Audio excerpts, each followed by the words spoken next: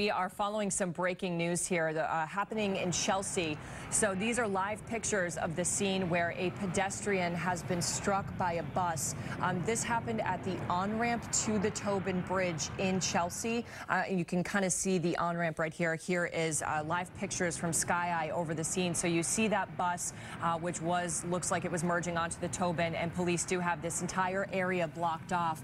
Um, any drivers that normally use the Everett Ave on-ramp in Chelsea should be using the 5th Street on-ramp instead. So this is a developing situation. As soon as we get more information here on uh, injuries and just exactly what happened, we will bring those to you. But you should avoid the Everett on-ramp in Chelsea uh, to the Tobin Bridge for right now. Use 5th Street instead.